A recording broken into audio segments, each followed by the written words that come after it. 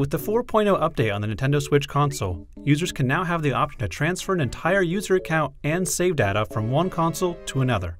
With this, you can choose which user account you wish to remove from the source switch and transfer its contents to another console that does not have the user account. Before starting the transfer, you must make sure you have met the following precautions. Both the source console with the account and the target console you wish to transfer to must have the 4.0 update, be connected to the internet, and must be plugged into a power source. A Nintendo account must be linked to the user account you wish to transfer on the source console, and the target console cannot have the same Nintendo account active. The target console cannot have more than 7 users at the time of the transfer, and the target console requires sufficient free space on its internal memory to receive the data that's being transferred. If the account has a lot of data attached, be sure to have an SD card on hand.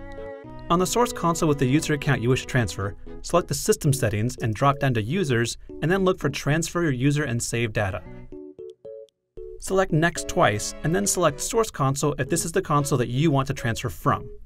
Ensure the console is both plugged in into a power source and has internet active, and then move to the target console.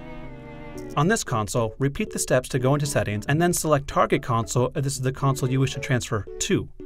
Hit sign in to use your Nintendo account email address or your sign in ID. Enter your credentials and password and then select sign in and then next and move to the source console again. Once the target console has been signed into, it will begin searching for the source console.